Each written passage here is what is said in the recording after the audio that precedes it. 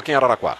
Chamei o Marlone, chamei o Fagner e coloquei. Marlone joga como um atacante, um último atacante, em cima do, dos zagueiros, porque ali a gente vai ter daqui a pouco uma jogada terminal.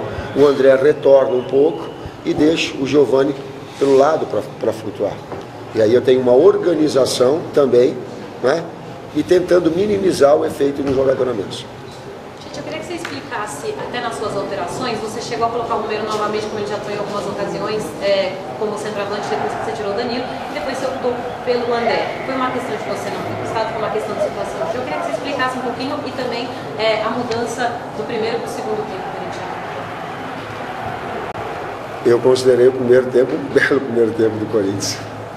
O placar não, mas as oportunidades, cita, e a, o volume, as oportunidades criadas foram muitas.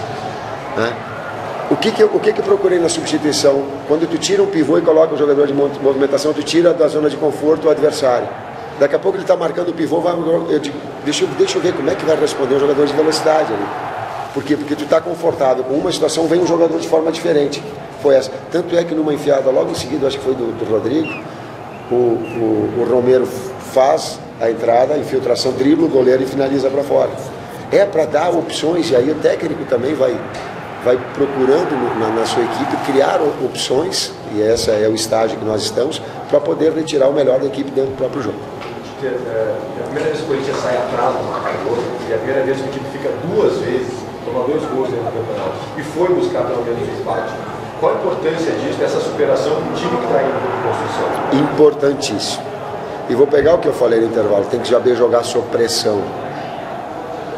E até usei não, não consigo, digo, tem que ter uma linha aí, ela divide de ficar insatisfeito com o placar, mas sabendo que tu está jogando bem.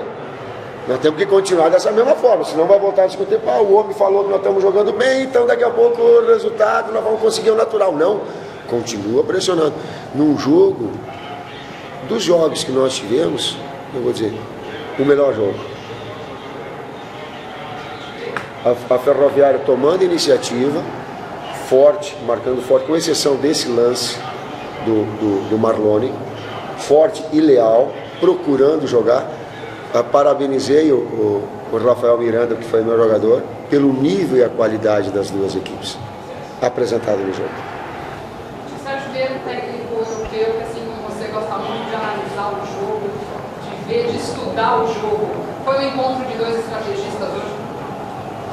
Não sei, mas foi de uma equipe que ela. Que, se não, não vou denominar, vou colocar para vocês. Mas ele fazia os dois zagueiros abrir, o primeiro volante sair, dois laterais, eu, eu falo assim, muito leves e que infiltram muito. Né?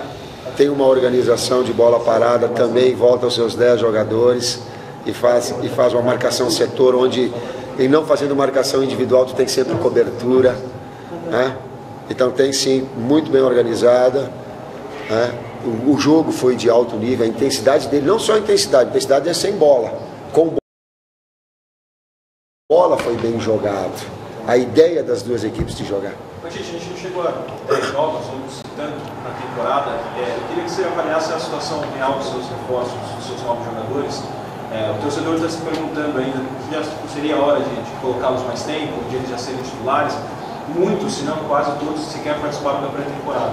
Então eu queria que você passasse um pouco é, qual que é a real condição de todos eles, ou pelo menos, não de um caso a caso, mas uma coisa mais genérica, para a gente entender o que a base do ano passado ainda está sendo mantida, mesmo já com quase 10 jogos. Primeiro, alguns eu não vou pegar o tempo dos atletas que vieram. Nós estamos invictos dentro da competição. Nós temos cinco vitórias no início da temporada, sendo que o início de temporada foi em 1948, o início da temporada. E se nós fizéssemos a sexta hoje, ia ser desde 1930 o Corinthians não iniciando tão bem assim uma temporada. Então é uma questão lógica. E eu falei na palestra, no final da palestra foi assim, ó. Atleta que está tá se perguntando assim, fui contratado para jogar. Atletas que estão aqui, pô, agora é minha vez de jogar. Atletas jovens, Michael, né? eu quero jogar. Eu digo, eu já passei por esse detalhe. O que eu quero de vocês é competição dentro da, da, da, da posição de cada um, vai elevar o nível técnico. Quando vai jogar, eu vou avaliar o momento. momento da equipe, fazendo cinco vitórias e jogando bem. Então eles vão sendo pontuais. Vê como entrou Giovanni bem?